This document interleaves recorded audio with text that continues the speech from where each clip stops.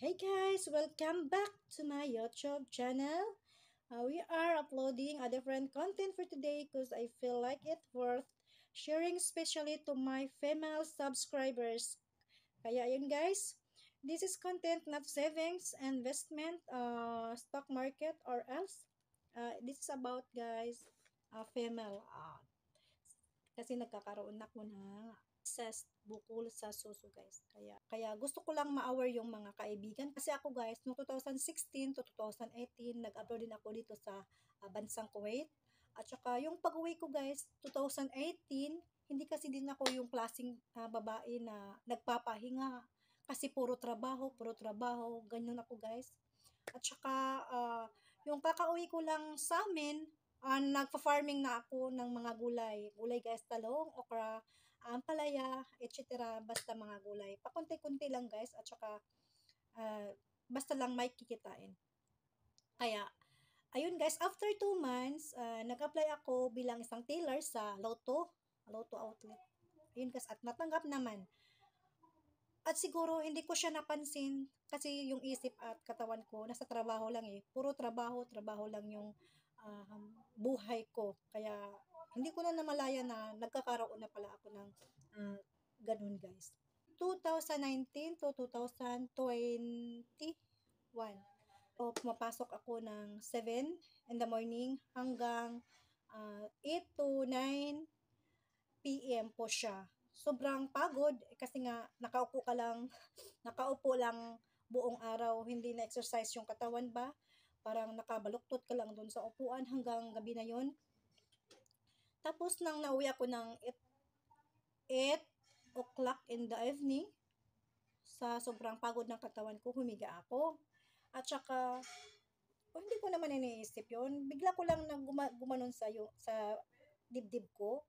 Pag ganun ko guys, nagulat ako kasi merong parang isang buto ng mais. Ganon siya kalaki.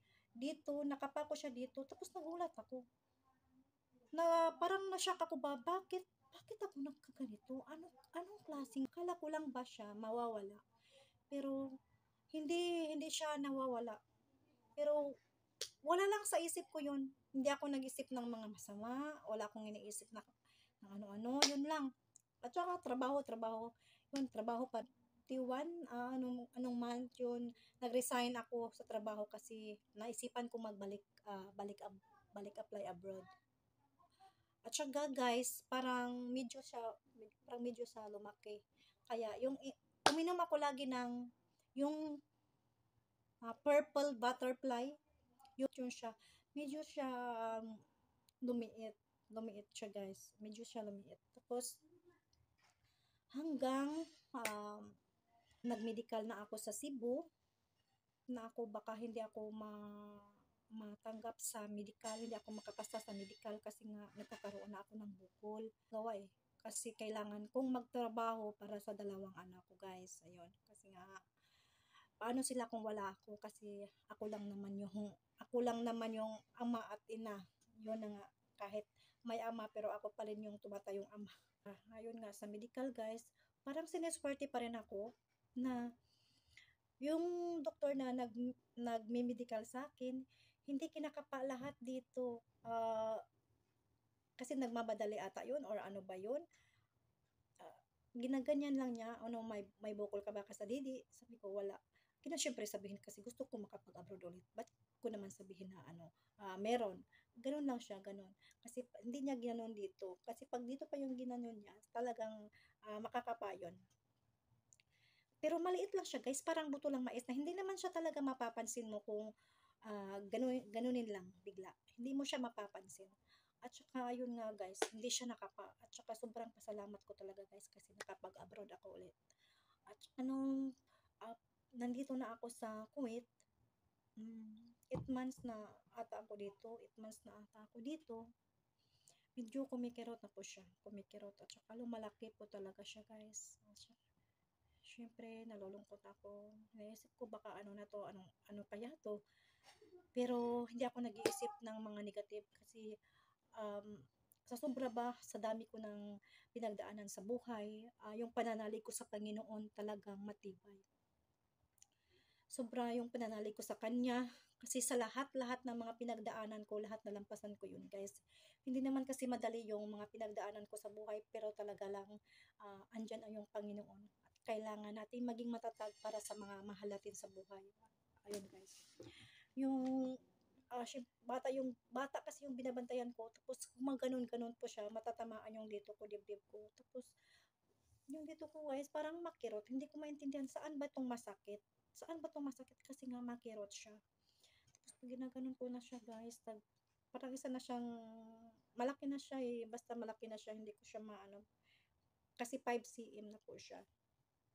Kaya, yun guys. Um, nung sinabi ko sa kasama ko, na, di, na, parang kumikirot na yung dibdib ko. Jabuang ka talaga. Alam ko na, sabi ko na sabihin ko sa amo, pero ayaw mo talaga.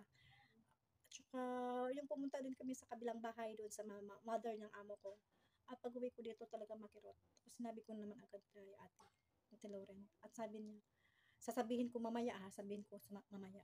Doon sa nanay, uh, balilula ng bata. Kasi yung, ito yung pinaka nanay namin dito. Doon sinabi na siya, tapos ako talaga guys, parang mahiya, mahiyaman ako, mahiya akong sabihin, baka pauwi na ako sa Pinas, or papagamot kaya ako or ano sasabihin nila? Ganyan yung mga iniisip ko. Pero nag-iisip ako ng mga negatiba. Ayoko ayoko mapagsabihan ayoko mapagalitan or ano pa. Baka bakit ka pumunta dito na may sakit ka naman pala? Ayoko makarinig ng mga ganyan guys kasi ay, my heart is mahina din. Um, at saka yun guys na sinabi talaga ni ate yung kumakain si nanay yung amo namin dito. Kumakain siya tapos tiniming lang na pagkatapos kumain tapos ako tumakbo na ako dito sa taas kasi ayaw kong makinig. Ayaw kong makinig sa sinasabi. Yun nga, sinabi ni ate na may bukol ako dito at saka naka, makirot. Hindi ako nakakatulog. Minsan ang maayos kasi nga kumikirot siya. At umakyat na ako dito sa taas kasi napakain ako ng alaga ko. Tapos, uh, maya-maya sabi ng tinawagan pala ni Nana yung amo ng mother, yung mother ng bata. Sabi niya, um, Cecil, you have pain? Huh? Pag gulat, uh, gulat FP ka ko. Dito ako. Uh, kailangan ilang months ko daw to napansin at ilang gano'n nakatagal to napansin. Sabi ko, nung 8 months ako dito, uh, na kumikirot yung dibdib ko at saka kinapa ko tapos may nakapa akong bukol uh, ng ganyan uh, tapos sabi niya baba ka doon tinatawag ka ni nanay yung pinakananay dito pinababa ako. Yung dibdib ko, guys, sobrang kaba. Baka, kasi may nervous kasi din ako eh. Kaya sobrang kaba ng dibdib ko. Uh, sabi, ni, sabi na natin sa pasok ka doon, pasok ka, kausapin ka ni nanay. Tapos pinaupo ako ni nanay doon sa tabi niya. Sabi niya, saan ba masakit sa'yo? Sabi ko, dito, dito madam. Akala nila, ma hubag, ano ba yung Tagalog? May ano lang. Hindi, hindi, dito sa loob po, madam ginaganon pinakita ko sa kanya dito dito. Hindi naman niya kinapa ko dito sa loob. Tapos yan guys maya maya kinap pag kinagabihan niyan dinala ako na sa hospital. Uh, ganon sila ka ano eh ganon sila umaksyon. Diretso diretso talaga ako dinala na sa hospital. Uh, sinamahan ako nung nanay ng alaga ko at saka yung tatay ng alaga ko. Silang dalawa sumama sa akin kasama ng alaga ko at saka nag-antay kami ng 3 hours doon sa hospital guys kasi nga sobrang sobrang dami ng pasyente. At saka by numbers kasi yun eh. Tapos ang tagal, ang tagal na uwi kami dito parang 12 AM na Tangan pang kumuha ng appointment para sa uh, check uh, uh, check yung doktor talaga sa breast. At nung una, gumaginanon lang ng isang doktor, pa siya, ayun nga, ni-refer ako doon sa specialista then espesyalista sa dili tapos kailangan pa kumuha ng isa uh, ng appointment. Mm, yung pizza yung nagpa-check up kami. Nakalimutan ko na yung pizza na nagpa-check up kami. Tapos uh, for this for this to go pa para ma-check up ako. At yun guys nung bumalik na ako sa pagpa-check up hindi ako sinamahan ng amo kasi may trabaho pa siya. Yung pinasama lang niya yung uh, driver dito Mabuti lang naman yung driver kasi sobrang bait. Tapos, alam na alam niya yung pasikot-sikot sa hospital. Kahit first timer pa siya doon. Uh, first time first time pa siya pumunta doon sa hospital na yon At daming mga counter uh, pinuntahan namin. Tapos kinunan pa ako ng dugo, tatlong ano yun, tatlong ganyan, yung klase ng dugo. Iwan ko ah, sa ano ata yun.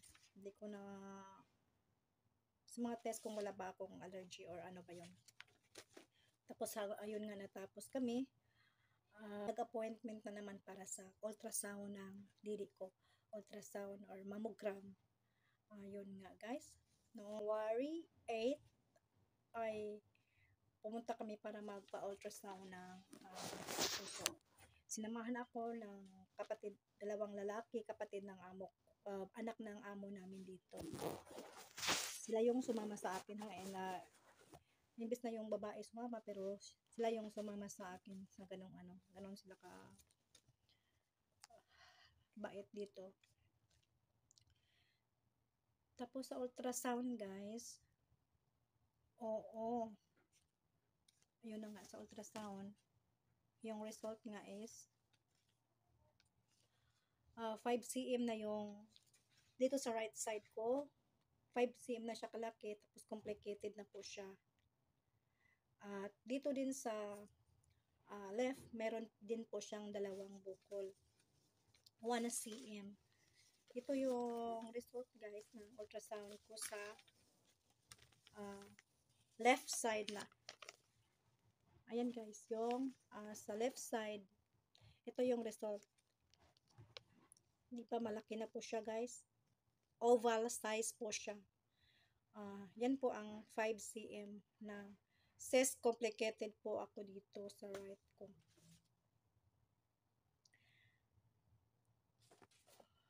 Ito po siya. Uh, yung impression po niya is bilateral recurrent change with simple complicated cysts as described. O, oh, ito nga. Ito po siya, guys. Yung result sa mammogram ko po, ultrasound. Ayan po siya, guys.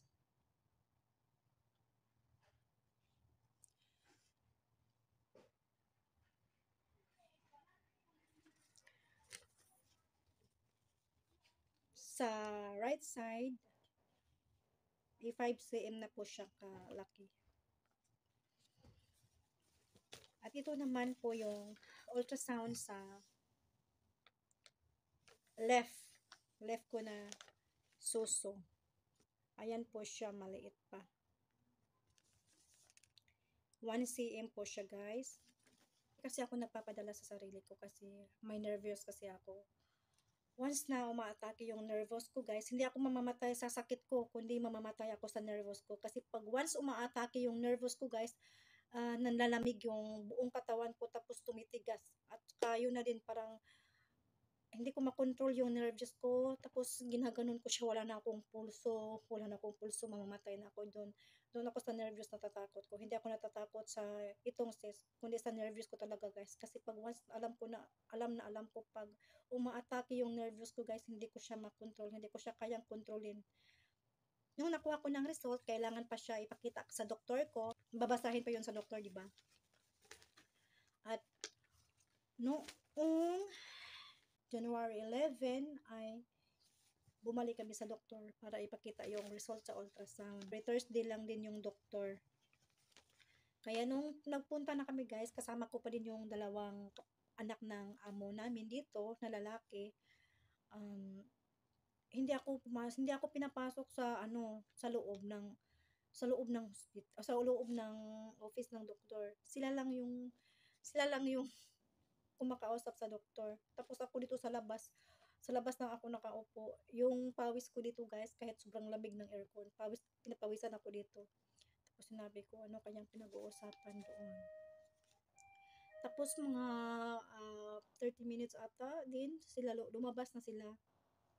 Tapos uh, marami naman kaming pinuntahan uh, counter para magpa-appoint na naman din ng um, biopsy. Kasi kailangan akong i-biopsy guys. Para malaman kung malignant ba siya or benign. Malignant cancer or benign non-cancer. Ganyan siya guys. At saka guys, um, ngayong January 22, yun ang appointment ko para sa ah, biopsy. Ito guys.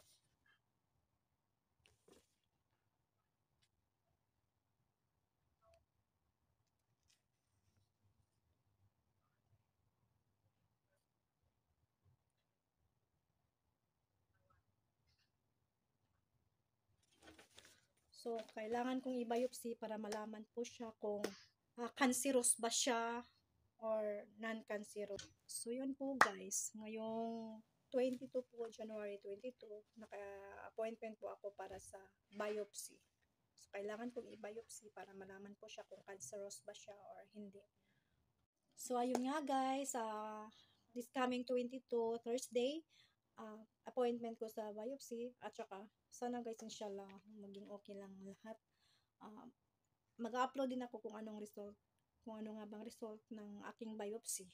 Yun nga, kasi sabi nila, sobrang sakit daw yun guys kasi kailangan mm, yung bukol mo sa dibdib ah, magkuha ng maliit ng konti para yun ang i-biopsy nila kung cancerous ba siya or anong klaseng bukol ba yun siya. At ah, yun guys, abangan na lang yung ah, next upload ko kung ano ba talagang klaseng bukol yun. Sana inshallah, inshallah, inshallah, walang, walang problema. Yun guys, maraming salamat sa panonood nyo. Ah, mag-iingat po tayo lagi. God bless. Bye-bye. Yeah.